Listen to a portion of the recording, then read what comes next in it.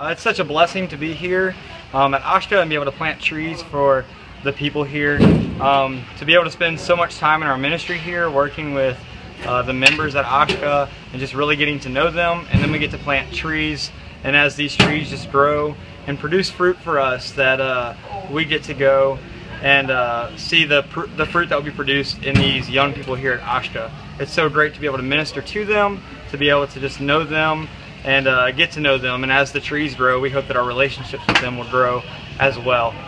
Um, we can't wait to be back uh, and see the trees as they continue to grow and grow and grow, and then more importantly, see our friends and the relationships that we have with them as it continues to grow as well. Stories. So people ask what impact did we have on Haiti, and I cannot leave without saying what an impact they had on my life. Uh, every child we met was so excited to see us jumping in our arms, holding our hands, following us up the mountain, uh, eager to hear what we had to hear, even though they didn't speak our language. Uh, everybody was just wonderful to us.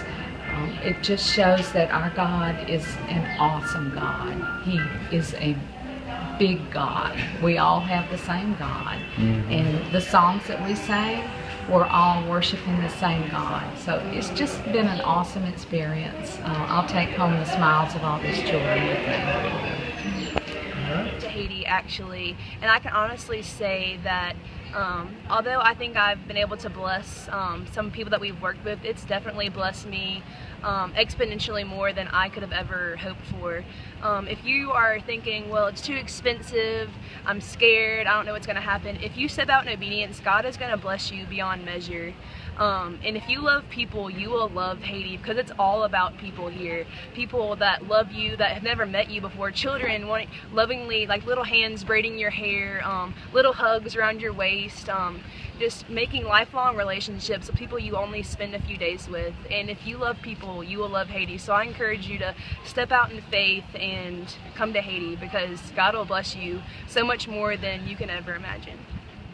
My God moment would be the people here and how they treat other people. You don't have to be, you don't have to have the right car or the clothes. They're very loving. All you have to do is give them your time. Mm-hmm. And it's always enough.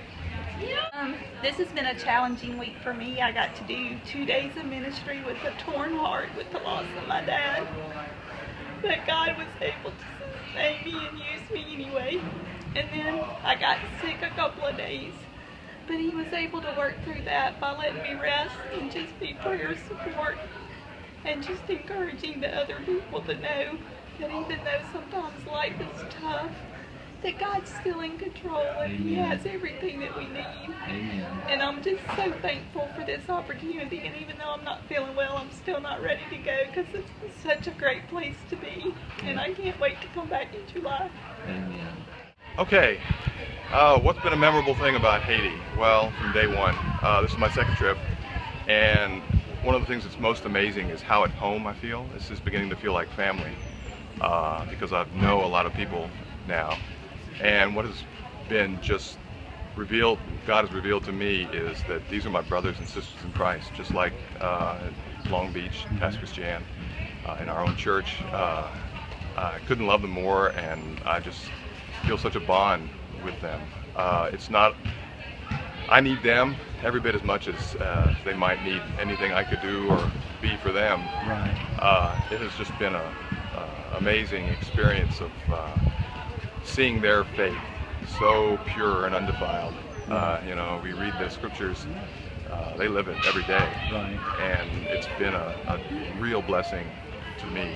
And to speak with them and know that I'm, God willing, we'll see them in July again is just a thrill. I'm already missing them and ready to come back.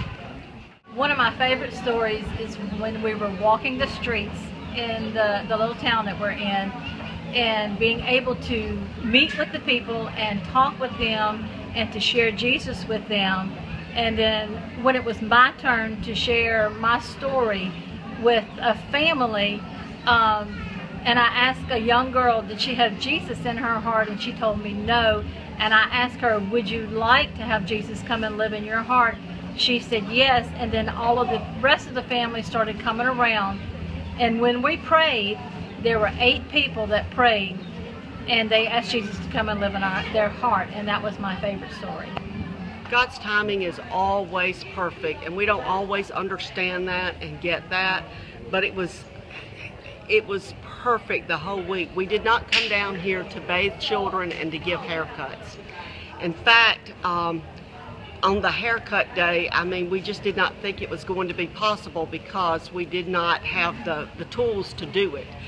And it was amazing how um, God brought it all together and we were able to get into town, get the tools we needed, and give those kids haircuts and the, the men haircuts. And, and it was real neat to see the PPM ministry uh, interpreters get into the ministry part.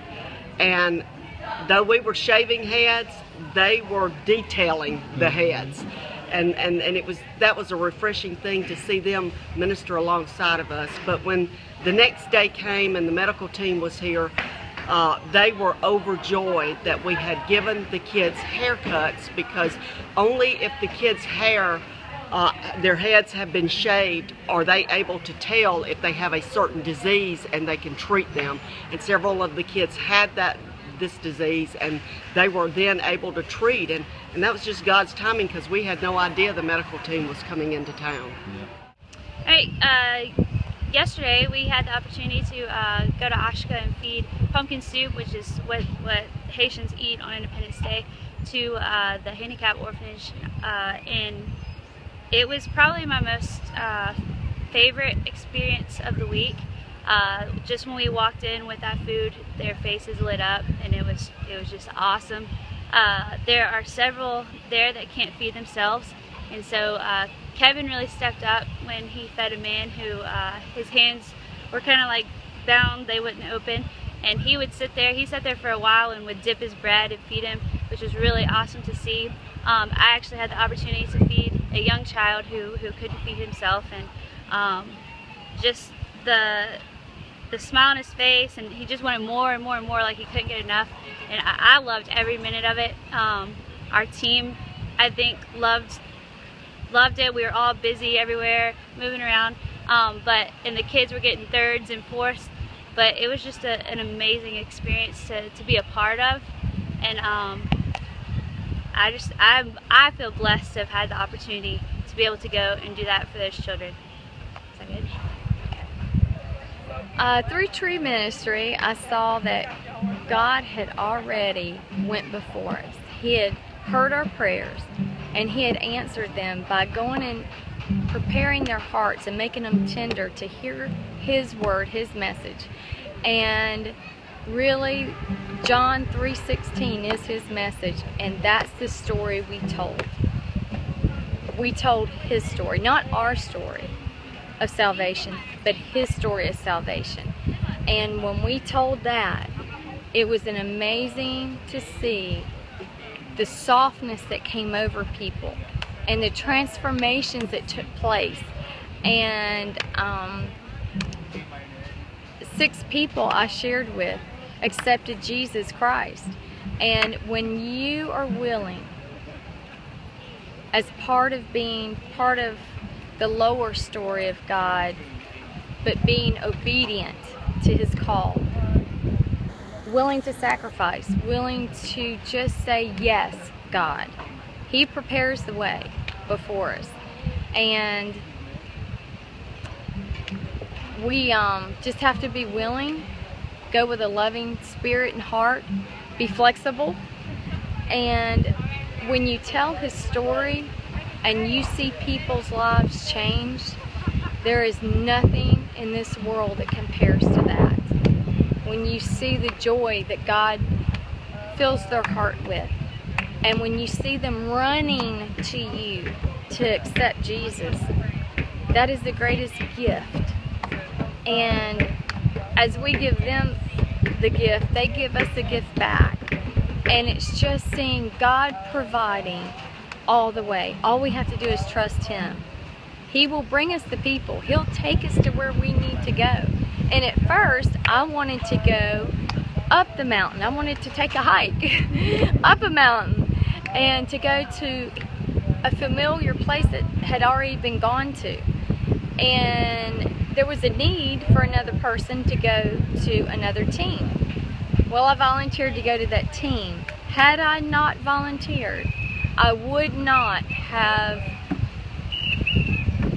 had been a part of six salvation experiences. And the volunteering was just that I felt God calling me to go to unfamiliar, to go to a new territory, a new ground.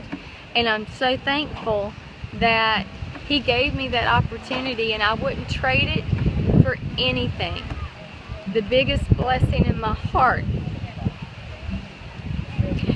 seeing children praying and accepting Christ, seeing teenagers accepting Christ. Um, five girls and a young man. And that that is what life is about. That's what we are called to do. And I thank God for the opportunity. And I will be back. So I guess my story and what I've learned throughout the week is that, first of all, prayer works. We prayed many times that asked God to go before us and prepare the way and prepare the hearts of the people that we would come in contact with. And I truly believe that God has answered those prayers. Uh, I don't believe in chance encounters or coincidences. So when we were able to um, meet uh, an older gentleman in the grocery store and he spoke English, uh, we were able to talk about why we were here and what we were doing. But we also, Kay and, and Angela and I had our salvation, salvation bracelets on. And so we were able to share with the man, his name was Charles, the plan of salvation through the bracelet. But also planting that seed, there was another young man that was right behind and he spoke English. His name was Alex. And he wanted to, he said, Can you explain that to me? So I gave him my bracelet. Uh, we all gave our bracelets away. And I was able to go through the plan of salvation standing in a grocery line in Haiti. I'm just sorry that it took me having to go to Haiti to share the gospel with somebody. And it just, um, this trip has shown us that we are all God's people. But more importantly, before we tell them that God loves them, we have to be able to tell them, I love you. And the Haitian people have been so kind and so helpful and so receptive to God's word. Uh, but it was all God. We just stepped out of the way. That I can't control. I more of you, God. More of you, God. Set a fire down in my soul that I can't contain, that I can't control. I want more of you, God. I want more of you, God. No place I'd rather be. There's no